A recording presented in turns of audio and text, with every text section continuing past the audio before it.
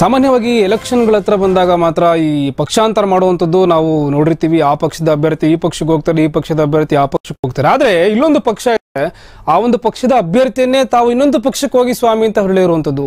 ಹಾಗಾದ್ರೆ ಯಾವ ಪಕ್ಷ ಅದು? ಕರ್ನಾಟಕದಲ್ಲಿ ಹೆಸರುವಾಸಿಯಾಗಿರುವಂತಹ ಈ ಒಂದು ಪಕ್ಷದ ಅಭ್ಯರ್ಥಿಯನ್ನ ಮತ್ತೊಂದು ಪಕ್ಷಕ್ಕೆ ನೀವು ಹೋಗಿ ಅಂತ ಹೇಳಿರುವಂತಹ ಪಕ್ಷ ಆದ್ರೂ ಯಾವುದು ಅಭ್ಯರ್ಥಿ ಆದ್ರೂ ಯಾರು? ಒಂದು ಬ್ರೇಕಿಂಗ್ ಬರ್ತಾ ಇದೆ. ನೋಡ್ಕೊಂಬನ್ನಿ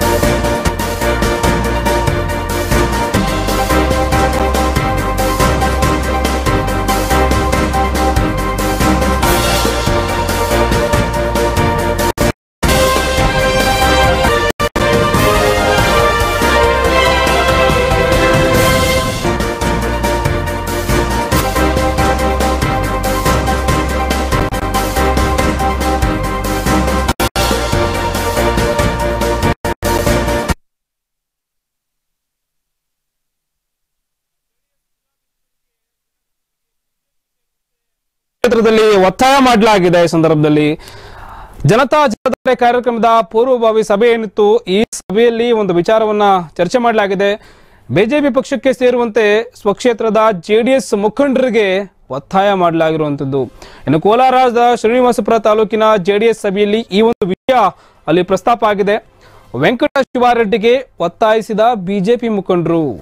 ಕೋಲಾರ ಜೆಡಿಎಸ್ ಜಿಲ್ಲಾಧ್ಯಕ್ಷ, ಮಾಜಿ ಶಾಸಕ ವೆಂಕಟ ಶಿವಾರೆಡ್ಡಿ ಇವರಿಗೆ ಬಿಜೆಪಿ ಮುಖಂಡರು ಒತ್ತಾಯಿಸಿದ್ದಾರೆ. ಶ್ರೀನಿವಾಸಪುರದಲ್ಲಿ ಜೆಡಿಎಸ್ ಪಕ್ಷದ ಕಾರ್ಯಕರ್ತರನ್ನು ಕೂಡ ಇಲ್ಲಿ ಒತ್ತಾಯ ಮಾಡಲಾಗಿದೆ. ಏಪ್ರಿಲ್ ಇಪ್ಪತ್ತೈದರಂದು ಶ್ರೀನಿವಾಸಪುರ ಜನತಾ ಜಲಧಾರೆ ರಥ ಆಗಮನ ಈ ಒಂದು ಕಾರ್ಯಕ್ರಮ ಇದೆ.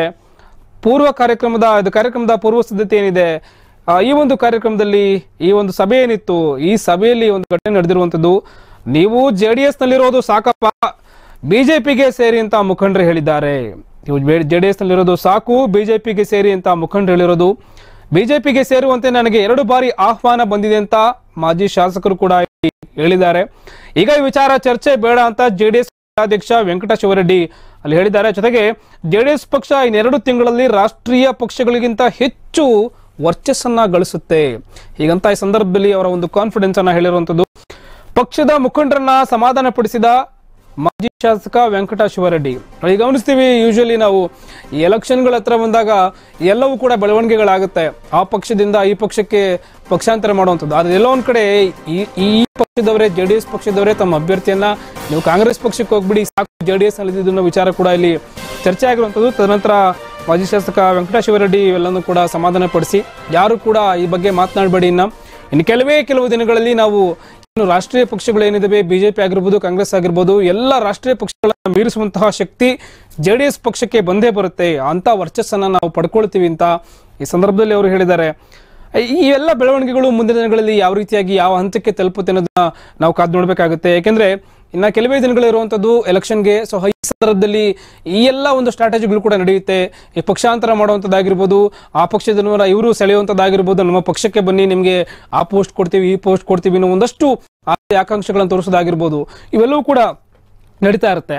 ಈ ಈ ಒಂದು ಚರ್ಚೆ ಹೇಗಾಯಿತು ಅಂತ ನೋಡೋದಾದ್ರೆ, ಈ ಒಂದು ಜನತಾ ಜಲಧಾರೆ ಕಾರ್ಯಕ್ರಮ ಏನಿದೆ, ಈ ಒಂದು ಕಾರ್ಯಕ್ರಮದ ಅಂಗವಾಗಿ ಒಂದು ಸಭೆ ನಡೆಸಿದ್ದಾರೆ. ಯಾವ ರೀತಿ ಎಲ್ಲ ಕಾರ್ಯಕ್ರಮ ನಡಿಬೇಕು, ಕಾರ್ಯಕ್ರಮದಲ್ಲಿ ಏನೆಲ್ಲ ಸಿದ್ಧಗಳಾಗಬೇಕು ಜೊತೆಗೆ ಯಾವೆಲ್ಲ ವಿಚಾರಗಳು ಚರ್ಚೆ ಮಾಡಬೇಕು ಅನ್ನೋ ಕಾರಣಕ್ಕೋಸ್ಕರ ಒಂದು ಸಭೆ ನಡೆಸಿರ್ತಾರೆ. ಈ ಸಭೆ ನಡೆಸುವಂತಹ ಸಂದರ್ಭದಲ್ಲಿ ಈ ವಿಚಾರಗಳು ಇಲ್ಲಿ ಚರ್ಚೆ ಆಗಿರುವಂಥದ್ದು. ನನಗಾಗಲೇ ಎರಡು ಬಾರಿ ಬಿಜೆಪಿ ಅವರು ನನಗೆ ಆಹ್ವಾನ ಕೊಟ್ಟಿದ್ರು. ಆದ್ರೂ ಕೂಡ ನಾನು ಹೋಗಿಲ್ಲ. ಈ- ಒಂದು ಮಾತು ಬಂದಾಗ ಅಲ್ಲಿನ ಒಂದಷ್ಟು ಜೆ ಡಿ ಎಸ್ನ ಒಂದಷ್ಟು ಮುಖಂಡರುಗಳು, ನೀವು ಹೋಗ್ಬಿಡಿ, ನಮಗೆ ಬೇಡ. ನಿಮ್ಮ ಒಂದು ಸೇವೆ ನಮಗೆ ಬೇಡ, ಅವಶ್ಯಕತೆ ಇಲ್ಲ. ನೀವು ಹೋಗ್ಬಿಡಿ ಬಿಜೆಪಿಗೆ ಹೋಗ್ಬಿಡಿ ಅಂತ ಅಲ್ಲಿ ಮಾತನಾಡಿದ್ದಾರೆ. ನೀವು ಇಲ್ಲಿ ಜೆ ಡಿ ಎಸ್ ಪಕ್ಷಕ್ಕೆ ದುಡಿದಿದ್ದು ಸಾಕು ಅನ್ನೋ ಒಂದು ಮಾತುಗಳು ಕೂಡ ಬಂದಿದೆ. ಅವರ ಒಂದು ನಿಟ್ಟಿನಲ್ಲಿ ಅವ್ರು ಹೇಳಿದ್ದಾರೆ ಜೆ ಡಿ ಎಸ್ ನಲ್ಲಿರೋದು ಸಾಕು ಅಂತ ಅನ್ನೋ ಒಂದು ಮಾತು ಹೇಳ್ತಾ ಇದ್ದಾರೆ ಅಂತಂದ್ರೆ ಕಡೆ ಅದು ತಮಾಷೆಗಳಿದ್ರು ಸೀರಿಯಸ್ ಗಳಿದ್ರು ಗೊತ್ತಿಲ್ಲ. ತದನಂತರ ಮಾಜಿ ಶಾಸಕ ವೆಂಕಟೇಶ್ ಶಿವರೆಡ್ಡಿ ಏನಿದ್ದಾರೆ ಇವರು ಸಮಾಧಾನ ಪಡಿಸಿ ಇನ್ನು ಕೆಲವೇ ಕೆಲವು ತಿಂಗಳುಗಳಲ್ಲಿ ನಮ್ಮ ಪಕ್ಷ ರಾಷ್ಟ್ರೀಯ ಪಕ್ಷಗಳಿಗಿಂತ ಹೆಚ್ಚು ವರ್ಷ ವರ್ಷವನ್ನ ಪಡೆಯುತ್ತೆ ಅಂತ ಈ ಸಂದರ್ಭದಲ್ಲಿ ಹೇಳಿದ್ದಾರೆ ಹಾಗಾದ್ರೆ ಏನೆಲ್ಲ ಮಾತನಾಡಿದ್ರು ಏನೆಲ್ಲ ಆಯ್ತು ಸಭೆಗಳಲ್ಲಿ ಚರ್ಚೆ ಆಯ್ತು ನೋಡ್ಕೊಂಬರೋಣ ಬನ್ನಿ ఊరి నుంచి కూడా మీ మా ఇంటి కార్యక్రమం మా సొంత కార్యక్రమం అనుకొని ಯಾವುದೇ సందర్భంలో దీని మోసం చేయొద్దండి వెంకటేశ్వరుడి మోసం చేయొద్దండి.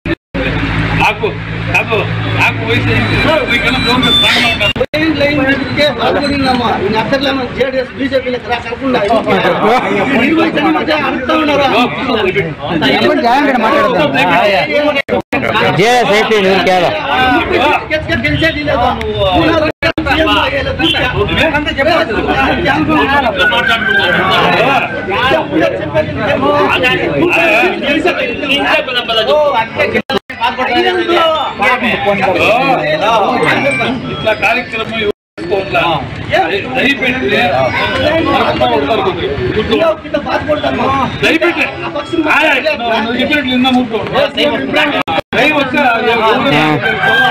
చేసుకుంటాను ఈ కార్యక్రమం చాలా మంచి చాలా కార్యక్రమం రెండు మూడు నెలలు చూసుకోండి ఎంత ఈ పార్టీ స్టేజ్ వస్తుందో అబద్ధం ఏం చెప్తాను చూస్తూ.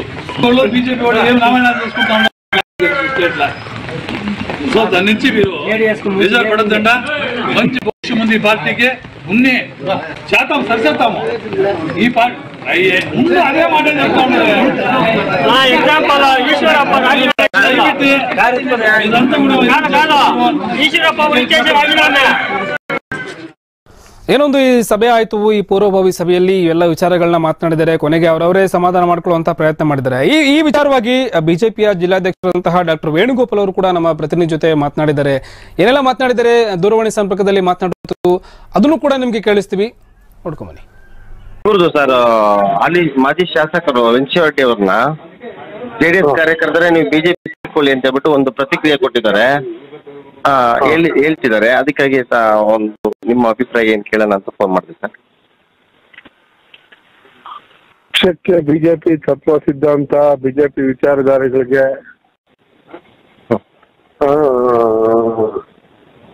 ಬೆಲೆ ಕೊಟ್ಟು ಪಕ್ಷಕ್ಕೆ ಬರೋಂಗಿದ್ರೆ ನಾವು ಸ್ವಾಗತ ವ್ಯಕ್ತಪಡಿಸ್ತೀವಿ. ಅವರು ಈ ಒಂದು ವಿಧಾನಸಭಾ ಕ್ಷೇತ್ರದ ಹಿರಿಯ ರಾಜಕಾರಣಿ ತನ್ನದೇ ಆದ ಬೆಂಬಲ ಇದೆ ಅವ್ರ ಗುಂಪು ಬೆಂಬಲದ ಗುಂಪಿದೆ ಅವ್ರಿಗೆ. ಖಂಡಿತ ಅವ್ರೇನಾದ್ರು ಬಿಜೆಪಿ ಪಕ್ಷಕ್ಕೆ ಬರ್ತೀನಿ ಅಂದ್ರೆ ಅವ್ರಿಗೆ ಸ್ವಾಗತ ಕೊಡ್ತೀವಿ. ಅದ್ರ ಬಗ್ಗೆ? ಸರ್ ಅದ್ರ ಬಗ್ಗೆ. ಯಡಿಯೂರಪ್ಪ ಮತ್ತು ಬೊಮ್ಮಾಯಿ ನೇತೃತ್ವದ ರಾಜ್ಯ ಸರ್ಕಾರದ ಯೋಜನೆಗಳು ಆ, ಮನಸ್ಸು ಹೊತ್ತು ಬೇರೆ ಬೇರೆ ಪಕ್ಷದ ಸುಮಾರು ದೊಡ್ಡ ದೊಡ್ಡ ನಾಯಕರೇ ಬಿಜೆಪಿ ಪಕ್ಷಕ್ಕೆ ಸೇರ್ಪಡೆ ಆಗ್ತಾ ಇದ್ದಾರೆ ಇಂಥ ಒಂದು ಸಂದರ್ಭದಲ್ಲಿ ವೆಂಕಟೇಶ್ವರ ರೆಡ್ಡಿ ಅವರು ಏನಾದ್ರು ಭಾರತೀಯ ಜನತಾ ಪಾರ್ಟಿಗೆ ಹೋಗಿದ್ರೆ ನಾವು ಆಧಾರದ ಸ್ವಾಗತ ವ್ಯಕ್ತಪಡಿಸ್ತೀವಿ. ಸರಿ sir. Thank you thank you sir. ಇನ್ನು ಯಾವುದೇ ಪಕ್ಷದಾದರೂ ಕೂಡ ಪಕ್ಷದಲ್ಲಿ ಕೆಲವೊಂದಷ್ಟು ಅವರದೇ ಆದಂತಹ ಸಿದ್ಧಾಂತಗಳೆಲ್ಲ ಇರ್ತವೆ. ಯಾವುದೇ ಕಾಂಗ್ರೆಸ್ ಆಗಿರ್ಬೋದು ಬಿಜೆಪಿ ಆಗಿರ್ಬೋದು ಜೆ ಡಿ ಎಸ್ ಆಗಿರ್ಬೋದು ಎಲ್ಲ ಅವರದೇ ಆದಂತಹ ಒಂದಷ್ಟು ಇಟ್ಕೊಂಡಿರ್ತಾರೆ. ಇವೆಲ್ಲವೂ ಕೂಡ ನಿಮಗೆ ಓಕೆ ಆದರೆ ನೀವು ಖಂಡಿತವಾಗ್ಲೂ ಬಿಜೆಪಿ ಪಕ್ಷಕ್ಕೆ ಸೇರ್ಬೋದು ಅಂತ ಡಾಕ್ಟರ್ ವೇಣುಗೋಪಾಲ್ ಮಾತನಾಡಿರುವಂಥದ್ದು.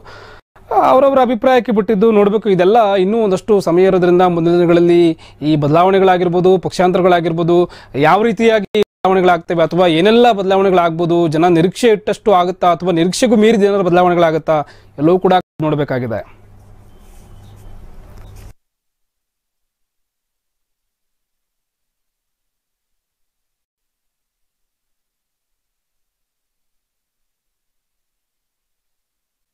ನೋಡಿ ಈ ಬಿಜೆಪಿ ಮುಖಂಡರು ಮಾತನಾಡಿದ್ರು, ಜಿಲ್ಲಾಧ್ಯಕ್ಷರು ಮಾತನಾಡಿದ್ರು. ಆದ್ರೆ ಈ- ವಿಚಾರ ಏನ್ ಚರ್ಚೆ ಆಯ್ತಲ್ಲ, ಈ ಒಂದು ಸಭೆಯಲ್ಲಿ ಚರ್ಚೆ ಆಯ್ತಲ್ಲ, ಈ ವಿಚಾರವಾಗಿ ಕೂಡ ಇವ ಜನತಾದಳದ ಯುವ ಘಟಕದ ಅಧ್ಯಕ್ಷರಾದಂತಹ ಸಂತೋಷ್ ಅವರು ಕೂಡ ಮಾತನಾಡಿರುವಂತದ್ದು ಈ ಬಗ್ಗೆ ಕೂಡ ಅವರು ರಿಯಾಕ್ಟ್ ಮಾಡಿದ್ದಾರೆ. ಏನೆಲ್ಲ ಮಾತನಾಡಿದ್ರು ನೋಡ್ಕೊಂಬರೋಣ ಬನ್ನಿ.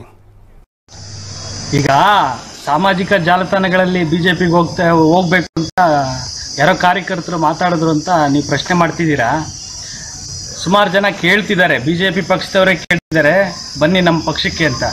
ಯಾಕೆ ಕೇಳ್ತಿದ್ದಾರೆ ಅಂದರೆ ರೆಡ್ಡಿ ಅವರ ವ್ಯಕ್ತಿತ್ವ, ಅವ್ರಿಗೆ ಇಲ್ಲಿರ್ತಕ್ಕಂಥ ಕ್ಷೇತ್ರ, ಕ್ಷೇತ್ರದಲ್ಲಿ ಗೆದ್ದೇ ಗೆಲ್ತೀವಿ ಅನ್ನೋ ಬಲದಿಂದ ಕೇಳ್ತಿದ್ದಾರೆ.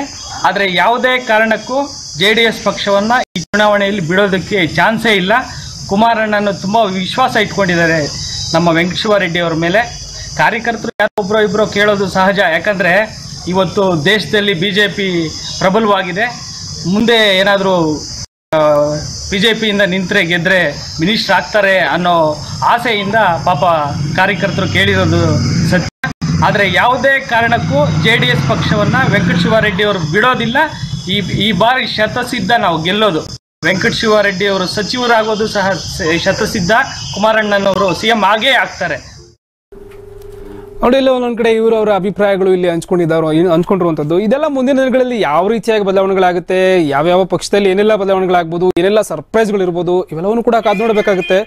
ಇದು ಇವರ ಒಂದು ಅಭಿಪ್ರಾಯಗಳು ತಿಳಿಸಿರುವಂಥದ್ದು ಡಾಕ್ಟರ್ ವೇಣುಗೋಪಾಲ್ ಆಗಿರ್ಬೋದು ಅಥವಾ ಸಂತೋಷ್ ಅವರಾಗಿರ್ಬೋದು ಇವರೆಲ್ಲರೂ ಕೂಡ ತಮ್ಮ ಅಭಿಪ್ರಾಯ ತಿಳಿಸಿದ್ದಾರೆ. ಬಿಜೆಪಿಯವರು ಕೂಡ ನಮ್ಮ ಪಕ್ಷಕ್ಕೆ ಬರೋದಾದ್ರೆ ನಾವು ರೆಡಿ ಆಹ್ವಾನ ಮಾಡ್ಕೊಳ್ತೀವಿ. ಆದರೆ ನಮ್ಮ ಒಂದಷ್ಟು ಸಿದ್ಧಾಂತಗಳನ್ನ ನೀವು ಪಾಲಿಸೋದಾರೆ ಖಂಡಿತವಾಗ್ಲೂ ಬರಬಹುದು ಅಂತ ಹೇಳಿರುವಂಥದ್ದು ಜೊತೆಗೆ ಇಲ್ಲಿ ಈ ಈ ವಿಚಾರಗಳೇನು ಚರ್ಚೆ ಆಯ್ತು?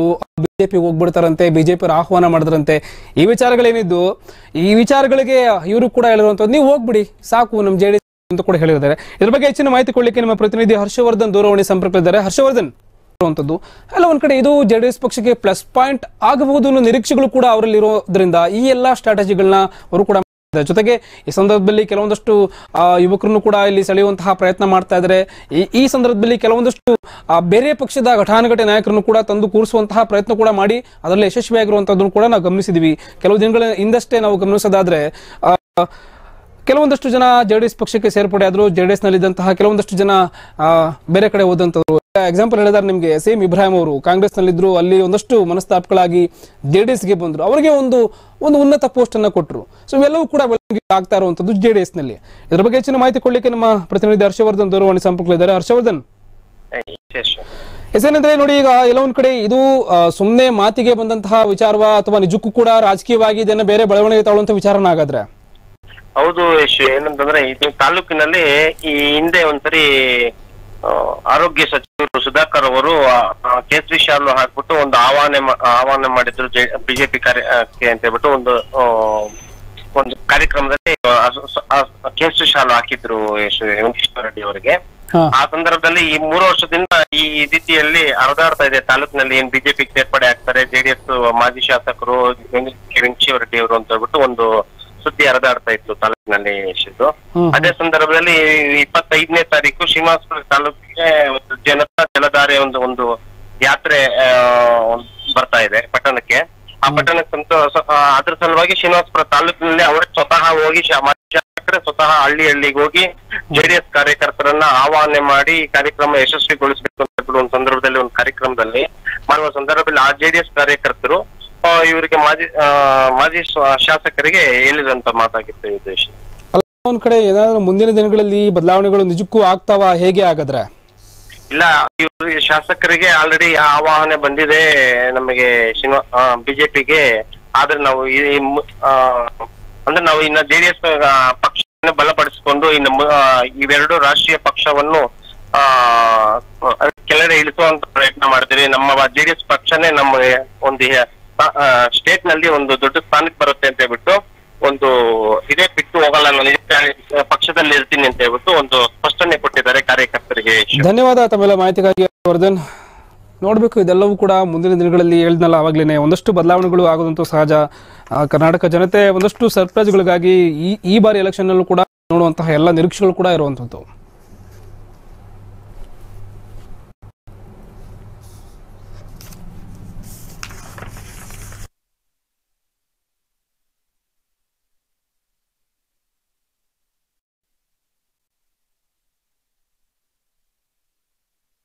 ಕ್ಷಣ ಕ್ಷಣದ ಸುದ್ದಿಗಾಗಿ ಅಮೋಕ್ ಟಿವಿ ಯೂಟ್ಯೂಬ್ ಚಾನೆಲ್ಗೆ ಸಬ್ಸ್ಕ್ರೈಬ್ ಮಾಡಿ ಹಾಗೂ ಬೆಲ್ ಐಕಾನ್ ಮೇಲೆ ಕ್ಲಿಕ್ ಮಾಡಿ.